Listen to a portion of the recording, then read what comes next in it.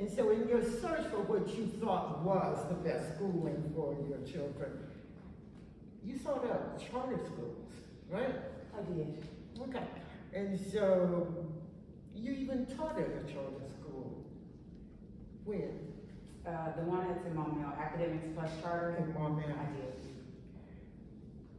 Why did you think charter school was better? Because we need to research our charter schools because they take the public school money and put it in charter schools. So you, you're still paying taxes uh, for charter schools. Have you looked at your property assessment bill? Okay, so anyway, uh, black parents, you know, like to feel like they're really doing something when they send their children to charter schools because that's the way they are marketed and they think that that's going to be the best place to mold this child's behavior and, and that they're going to be in an orderly environment. And so you wrote in the chapter, Dear Performing Art Magnet, you have been a complete disappointment to my daughter. We wanted to find a better option to tra traditional schools.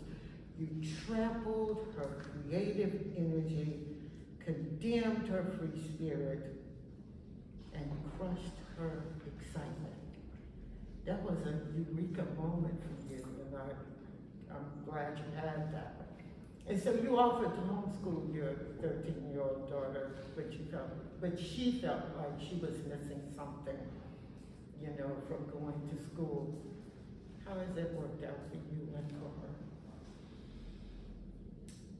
I want to say, I want to, I want to answer the question about the charter school.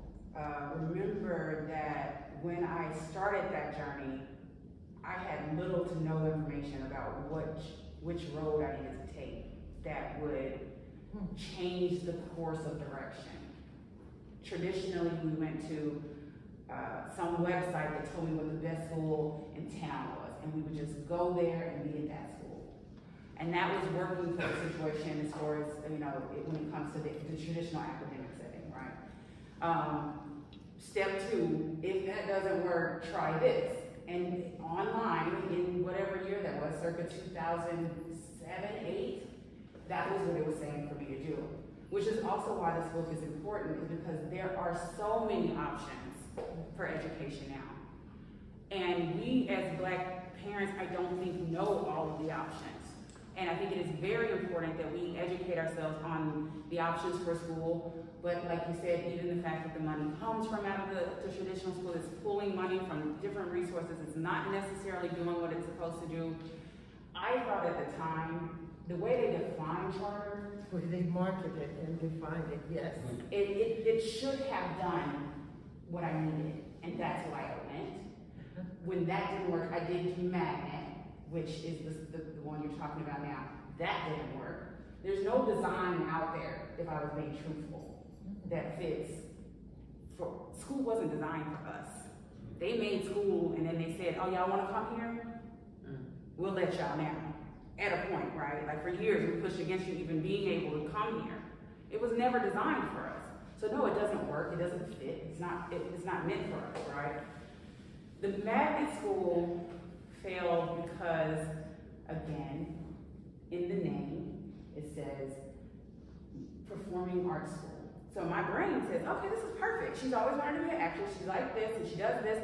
This school is gonna get her. All the kids here do that, right? They're all gonna be kind of moving around all the time and wanting to of attention. And so they're gonna get her, she's not gonna get in trouble, because that's what she's getting in trouble for. She wants to, she won't sit still, and she must be ADHD. she's not ADHD, she's just trying to act, she's trying to put on a show. Put, you know, you know, she's just trying to put on a show. So when we got there, I thought that she would get the attention she needed because you said bring your performing arts child here.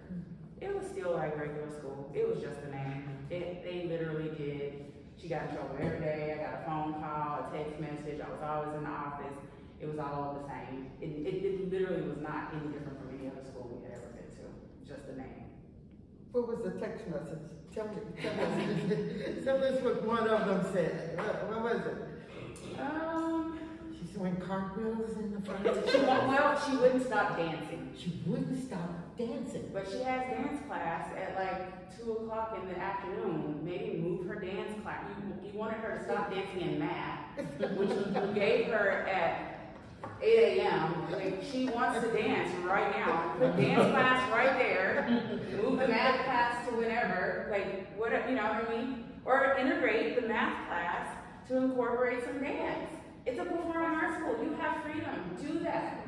You can create a math class that's surrounded about every single interest that a student may have.